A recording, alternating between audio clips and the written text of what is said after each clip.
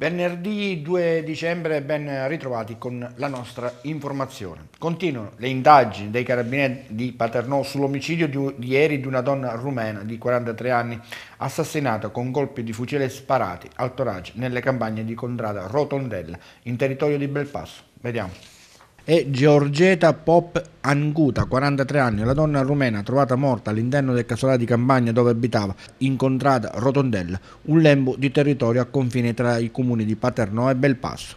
La 43enne è stata rinvenuta cadavere nel pomeriggio di ieri, poco dopo le 16.30 dai suoi colleghi, i quali, preoccupati dal fatto che la donna non si fosse presentata al lavoro e non avesse risposto a telefono, hanno deciso di verificare cosa le fosse successo trovandolo dentro casa, priva di vita. Immobile che si trova dentro il comprensorio dell'azienda agricola dove lavora la donna, ma in un luogo isolato. La 43enne infatti era impiegata di quest'ultima impresa e badava agli animali presenti in azienda. La donna è stata trovata all'interno della camera da letto con una profonda ferita a torace provocata dallo sparo di due colpi di fucile caricata a palline. Chi ha sparato ha portato via con sé l'arma del delitto. Per l'investigatore potrebbe trattarsi di un omicidio premeditato. Non è chiaro comunque se la donna avesse un appuntamento con la persona che l'ha ucciso o così come sono in corso le verifiche per la presenza di eventuali segni di effrazione nella porta di ingresso del casolare dove la donna viveva. A indagare i carabinieri della compagnia di Paternò e del reparto operativo del comando provinciale di Catania. Al momento si esclude il delitto maturato nell'ambito familiare. La vittima era separata, ma l'ex marito, suo connazionale, non vive più in Sicilia. Da anni si è trasferito in Romania assieme alla figlia avuta con la vittima. A momento gli investigatori parlano infatti di omicidio senza un preciso movente. A vaglio dei carabinieri le immagini di videosorveglianza piazzate all'ingresso del cancello principale da cui si accede per poi dirigersi verso l'interno dove si trovano diversi fondi agricoli. La samma della donna è stata condotta all'obitorio dell'ospedale Cannizzaro dove nelle prossime ore dovrebbe essere effettuata l'autopsia. Esplosi da ignoti di, colpi di fucile contro una segnaletica stradale di Paternò. Il fatto è stato segnalato ai carabinieri che hanno già effettuato un sopralluogo. Sentiamo. Una segnaletica stradale scambiata per un bersaglio su cui esercitarsi con l'arteria stradale ricadente in contrada San Marco a Paternò che si trasforma in un poligono di tiro. L'inquietante episodio si è registrato nei giorni scorsi nella città paternese.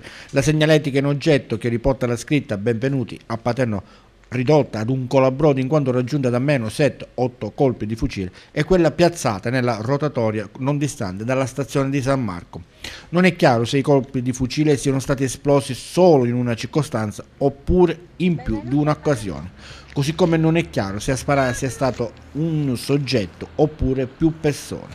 Nei pressi della segnaletica utilizzata come bersaglio sono state trovate a terra e conteggiate a meno 7-8 cartucce. Un fatto davvero inquietante che lascia davvero perplessi. Ci si chiede com'è possibile che si vada in giro a sparare in strada senza che nessuno abbia visto o sentito qualcosa di anomalo. Informati per l'occasione i carabinieri della compagnia di Paternò, i quali hanno effettuato un sopralluogo nella zona per accertare eventuali responsabilità. Ancora una giornata di sciopero nazionale da parte dei vigili del fuoco per tenere alta l'attenzione sulle croniche carenze di personale e di mezzi da parte, eh, da parte che, di cui soffrono i vigili del fuoco, ma anche per le altre problematiche che attanagliano il corpo. Sit-in da parte del sindacato USB questa mattina anche a Catania. Sentiamo a tal proposito Carmelo Barbagallo, coordinatore regionale del sindacato. Sentiamo. Diciamo che ancora una volta Ischia si è messo in luce come Vigili del Fuoco fanno un lavoro incommiabile. Un plauso va sicuramente ai colleghi e la vicinanza assoluta alla cittadinanza di Ischia che purtroppo ha vissuto una tragedia annunciata, così come Ischia anche in altre parti del territorio italiano dove diciamo che ci vuole prevenzione e messa in sicurezza a noi ci definiscono angeli, ma anche noi con le ali purtroppo non possiamo pagarci le bollette. L'aumento dell'ultimo contratto purtroppo è stato totalmente spazzato via da, dagli aumenti e a causa anche della guerra che è stata una scusante per toglierci i soldi di tasca come a noi vigili del fuoco come a tutto il resto dei lavoratori. Oltre a questo chiediamo che vengano risolte le graduatorie con le assunzioni perché abbiamo una grossa criticità di organico e il nostro territorio è un territorio debole, i vigili del fuoco sono la colonna portante della Repubblica Italiana, questo lo si dimostra quotidianamente.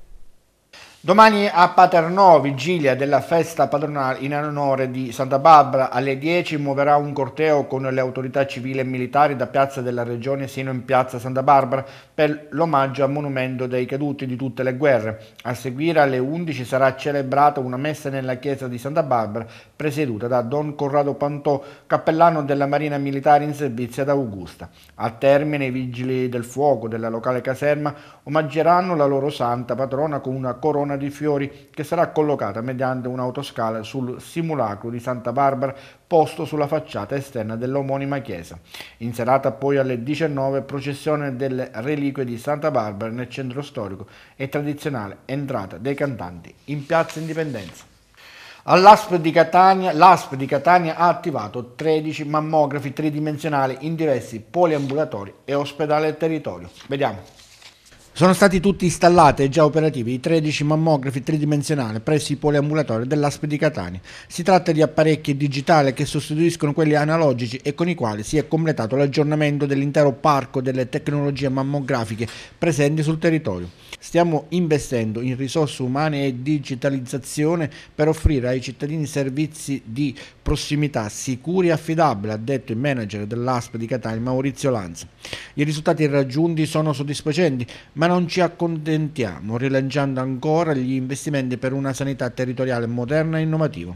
I nuovi dispositivi sono attivi presso gli ospedali di Militello Val di Catania, Caltagirone e Paternò, nonché presso i poliambulatori di Acireale, Bronde, Giarre, Pedara, San Giorgio Librino, Bezzine e al PTA San Luigi di Catania, dove ne sono stati collocati ben quattro. Questi 13 mammografi si vanno così ad aggiungere a quello già presente nell'ospedale di Biancavilla. L'acquisto di questi nuovi mammografi rappresenta un forte segnale di attenzione per tutte le donne residenti sul territorio, ha affermato Antonino Rapisad, direttore sanitario dell'ASP. Abbiamo potenziato i nostri servizi per garantire tempi ancora più celeri e alzare sempre di più gli standard di efficienza del percorso diagnostico. Rivolgo quindi, conclude Rapisad, l'invito a tutte le donne ad aderire con fiducia ai programmi di screening e a non trascurare questa importante opportunità di prevenzione e cura. I nuovi mammografi sono tutti dotati di tomosintesi tecnica mammografica che permette di acquisire immagini della mammella in tre dimensioni con eccellente qualità di immagine che permette maggiore accuratezza diagnostica, oltre che una notevole riduzione della dose radiogena erogata alla paziente. Visita questo pomeriggio dell'Arcivescovo di Catania Monsignor Luigi Renna a Biancavilla, dapprima l'accoglienza da parte delle Clarisse del Monastero di Santa Chiara dove ha pregato in forma privata recitando solennemente i Vespri.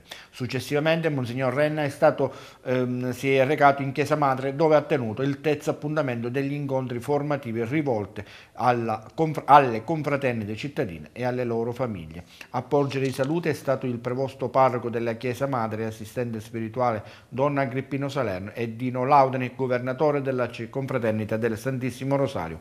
Nel suo intervento l'arcivescovo ha illustrato l'importanza della pietà popolare e il ruolo svolto dalle confraternite alla luce di tre punti fondamentali, il culto, la formazione cristiana e la carità. Pulizia straordinaria di piazza Annunziata a Biancavilla ad opera dell'amministrazione comunale su input anche del consigliere comunale di maggioranza Antonio Bonanno. Oltre alla potatura degli alberi presenti la pulizia, la pulizia della piazza sono state messe a dimora diverse stelle di Natale e piantine verdi per abbellire l'area che ospita anche il monumento ai caduti. Il consigliere comunale Antonio Bonanno, che è anche segretario del consiglio pastorale della chiesa parrocchiale Annunziata, con una nota ringrazia l'amministrazione comunale per l'intervento fatto e coglie l'occasione per sensibilizzare la cittadinanza biancavillese ad avere cura del bene comune. Il presidente del Consiglio Comunale di Biancavilla, Martina Salvà, ha convocato per, per, martedì 6 dicembre alle ore 10.30 il Consiglio Comunale dei Ragazzi. I 16 baby consiglieri si riuniranno nell'aula consigliare del Comune per la trattazione dell'ordine del giorno che prevede, dopo il giuramento e la convalida dei consiglieri eletti, l'elezione del baby sindaco e del suo vice. Con quest'ultima notizia si chiude questa edizione, a me non resta altro che salutarvi e darvi appuntamento alle prossime.